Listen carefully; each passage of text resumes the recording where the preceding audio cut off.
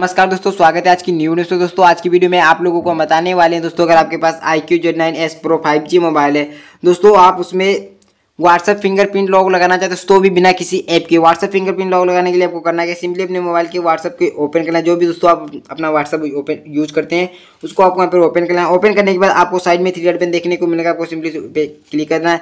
Click करने के बाद आपको यहाँ पर कैप्शन देखने को मिलेगा सेटिंग्स का आपको सिंपली सेटिंग्स वाले पे क्लिक करना है। क्लिक करने के बाद आपको थोड़ा सा नीचे नीचे जाने के बाद आपको यहाँ पर कैप्शन देखने को मिलेगा प्राइवेसी का आपको सिंपली प्राइवेसी पे क्लिक करना है। क्लिक करने के बाद आपके सामने यहाँ पर इस तरह में शो हो जाएगा। सुनने के बाद आपको थोड़ा सा नीचे जाना है। नीचे जाने के बाद आपको यहाँ पर कैप्शन देखने को मिलेगा। ऐप लॉक का दोस्तों आपको सिंपली उस पर टिक कर देना है। टिक करने के बाद अब आपको आपकी मेट्रिक डिस्प्ले आपको ये टिक इनेबल कर देना है। टिक इनेबल करने के बाद आपने जो फिंगरप्रिंट स्क्रीन लॉक लगाया दोस्तों वहीं आपको फिंगर यहाँ पे ऐड कर देना है। ऐड करने के बाद तो बैग जाते हैं। बैग जाने के बाद तो अपना यहाँ से व्हाट्सअप मैं ओपन करता हूँ।